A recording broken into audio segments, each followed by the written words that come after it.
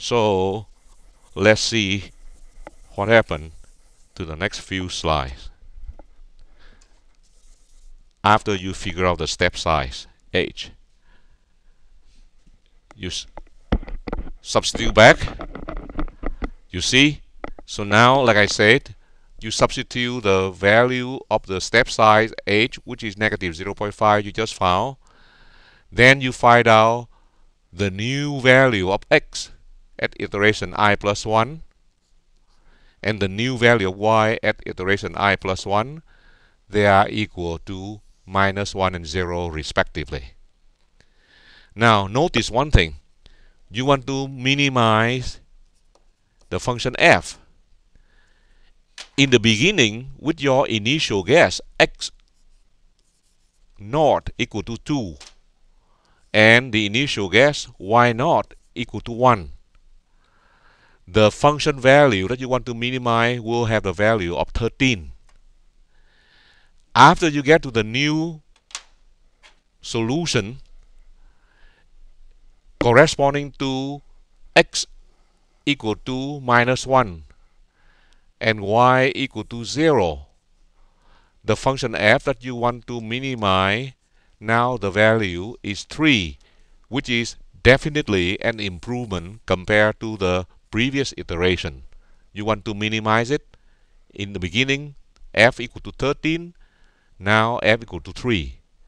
So you can see substantial improvement already occur even with one iteration. Now let's see what happened after that. Okay? So to see what happened after that, to see what happened after that, Let's look at the next few slides. So go to the next slide. Now we say, okay, now we just calculate the new improved solution, which is x equal to minus 1 and y equal to 0. See, this is x equal to minus 1 and this value here, y is equal to 0.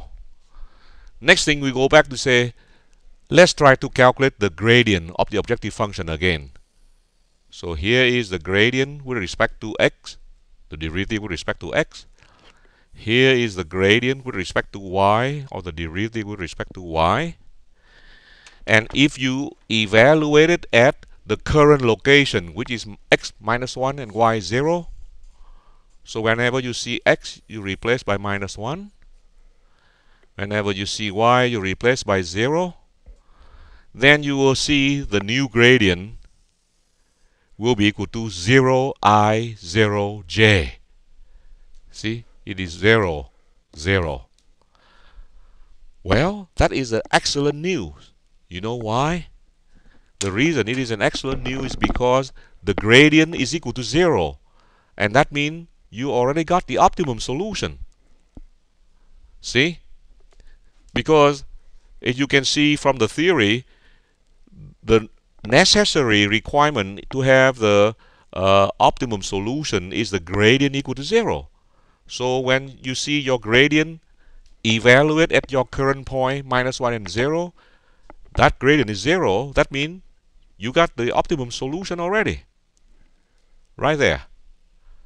So that means minus 1 and 0 will give you the optimum solution and the function corresponding value to that will be you replace x by minus 1 you replace x by minus 1 you replace y by 0 and that is the optimum solution.